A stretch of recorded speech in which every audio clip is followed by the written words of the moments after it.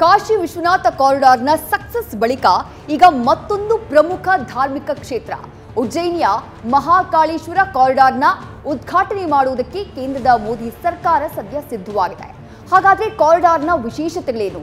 ಆಗಲೇ ನಾವು ರಿಪೋರ್ಟ್ನಲ್ಲಿ ನೋಡಿದಂತೆ ದೇಶದ ಹನ್ನೆರಡು ಜ್ಯೋತಿರ್ಲಿಂಗಗಳಲ್ಲಿ ಮೂರನೇ ಪ್ರಮುಖ ಜ್ಯೋತಿರ್ಲಿಂಗ, ಉಜ್ಜಯಿನಿಯ ಜ್ಯೋತಿರ್ಲಿಂಗ ವರ್ಷಕ್ಕೆ ಇಲ್ಲಿಗೆ ಒಂದೂವರೆ ಕೋಟಿಯಷ್ಟು ಭಕ್ತರು ಬರ್ತಾರೆ. ಮಹಾಕಾಳೇಶ್ವರನ ದರ್ಶನವನ್ನ ಪಡೆಯುತ್ತಾರೆ. ಆತನ ಆಶೀರ್ವಾದವನ್ನ ಬೀಳ್ತಾರೆ.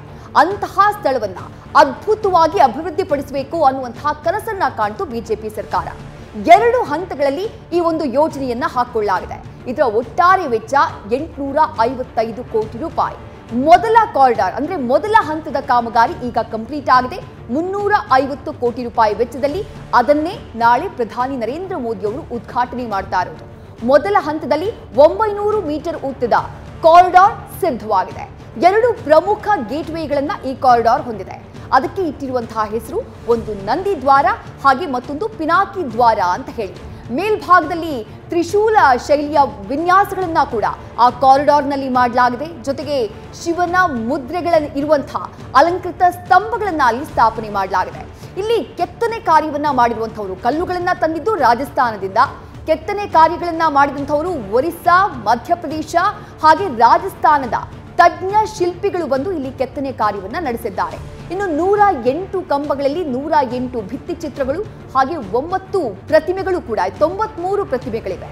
ಇನ್ನು ಸ್ಮಾರಕಗಳು ಶಿವಲೀಲೆಯನ್ನ ಹೇಳಲಿವೆ. ಈ ಒಂಬೈನೂರು ಮೀಟರ್ ಕಾರಿಡಾರ್ನಲ್ಲಿ ನೀವು ಆ ದೇಗುಲಕ್ಕೆ ಏನ್ ಸಾಕ್ತಾ ಹೋಗ್ತೀರಿ, ನಡ್ಕೊಂಡು ಹೋಗ್ತೀರಿ, ಪ್ರತಿ ಹಂತದಲ್ಲೂ ಕೂಡ ಶಿವನ ವಿವಿಧ ಅವತಾರಗಳ ದರ್ಶನ ನಿಮಗಾಗಲಿದೆ.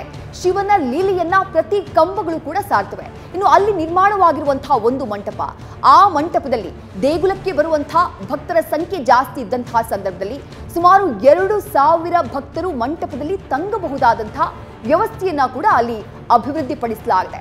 ಇನ್ನು ರುದ್ರಸಾಗರ ಕೆರೆ, ದೇಗುಲದ ಮುಂಭಾಗದಲ್ಲಿ ಇರುವಂತಹ ಕೆರೆ ಇದು ರುದ್ರಸಾಗರ ಕೆರೆ. ಇಲ್ಲಿ ಒಂದು ವಿಚಾರವನ್ನ ಗಮನಿಸಬೇಕು.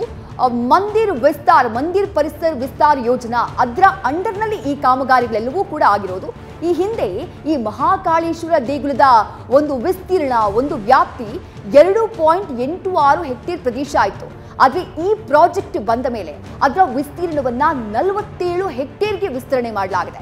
ಅದರಲ್ಲಿ ಹದಿನೇಳು ಹೆಕ್ಟೇರ್ ಈ ರುದ್ರಸಾಗರ ಸರೋವರ ಏನಿದೆ, ಆ ಸರೋವರ ಬರುತ್ತೆ. ಇನ್ನು ಸರೋವರದ ದಂಡೆ ಹಾಗೆ ಕಮಲದ ಕೊಳವನ್ನ ಅಭಿವೃದ್ಧಿಪಡಿಸಲಾಗಿದೆ. ಧರ್ಮಶಾಲಾ ಹಾಗೆ ಆಹಾರ ಬೋಧನಾ ಮಂದಿರವನ್ನ ಅಲ್ಲಿ ನಿರ್ಮಾಣ ಮಾಡಲಾಗಿದೆ. ಎರಡು ಸಾವಿರದ ಇಪ್ಪತ್ತೆಂಟರ ವೇಳೆಗೆ ಕಾಮಗಾರಿ ಕಂಪ್ಲೀಟ್ ಆಗುವಂತಹ ಒಂದು ನಿರೀಕ್ಷೆ ಇದೆ. ಆ ಮೂಲಕ ಈಗೇನು ವರ್ಷಕ್ಕೆ ಒಂದೂವರೆ ಕೋಟಿಯಷ್ಟು ಭಕ್ತರು ಬರ್ತಿದ್ದಾರೆ. ಈ ಧಾರ್ಮಿಕ ಟೂರಿಸಂ ಅಂತ ನಾವೇನು ಹೇಳ್ತೀವಿ? ಅದನ್ನ ಇನ್ನೊಂದು ಹಂತಕ್ಕೆ ತೆಗೆದುಕೊಂಡು ಹೋಗುವಂತಹ ಒಂದು ಮಹದಾಸಿಯನ್ನ ಮಧ್ಯಪ್ರದೇಶ ಸರ್ಕಾರ ಹಾಗೆ ಕೇಂದ್ರ ಸರ್ಕಾರ ಕೂಡ ಹೊಂದಿದೆ. ನಿಮ್ಮೊಂದಿಗೆ